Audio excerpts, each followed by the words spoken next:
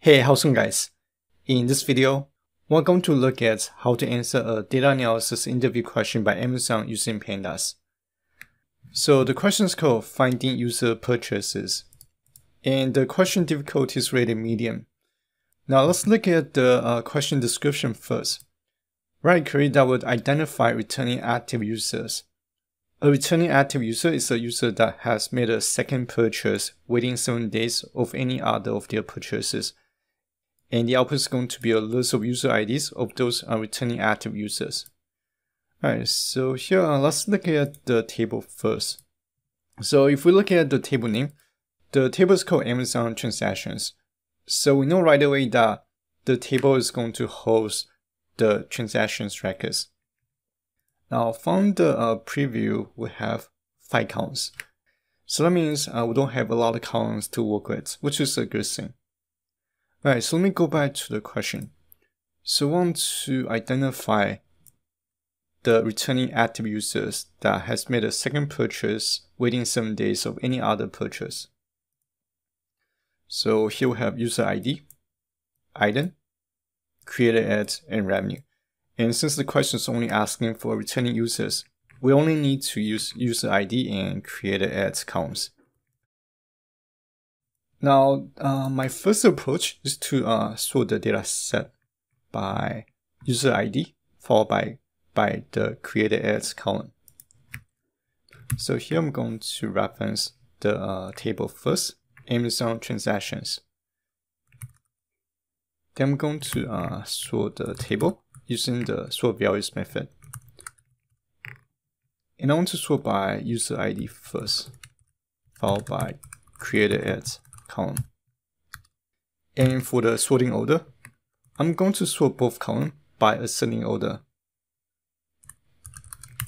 So I'm going to uh, reference the ascending parameter, and I'll insert list, and I'll insert 2 for both columns.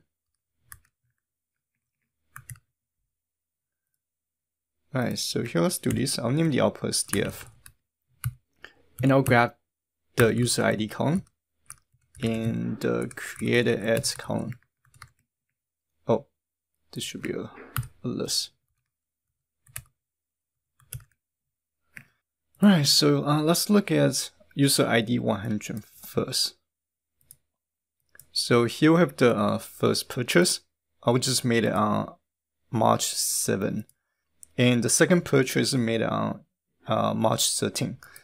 So within 7 days, uh, this person has made a second purchase.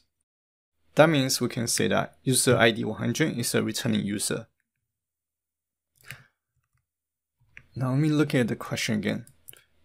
And to identify returning users, any user that has made a second purchase within 7 days of any other of their purchases. So as long as a user has made a second purchase within 7 days, then we can say that's a returning user. Alright, so here let me insert a new column. I'll name the column uh, next purchase. So I want to populate the next purchase date. And the way I'm going to do it is I'm going to shift the uh, position of each row on the created at column uh, by one row. Alright, so I'm going to uh, group everything using the group by method. And I want to group by user ID. Then I'm going to reference the created at column. And I want to shift everything by row. Alright, so let me take a look at the result.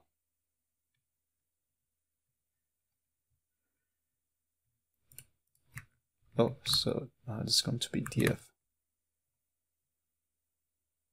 Right, so if we look at the output, so here we have the first purchase. I just made on March 7.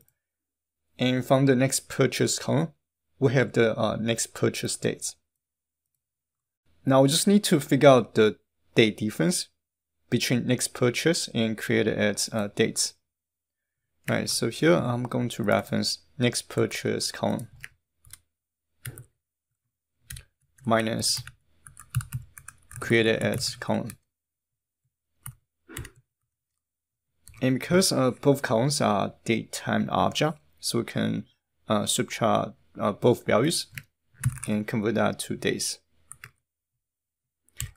And I'll name the column number of days since purchase.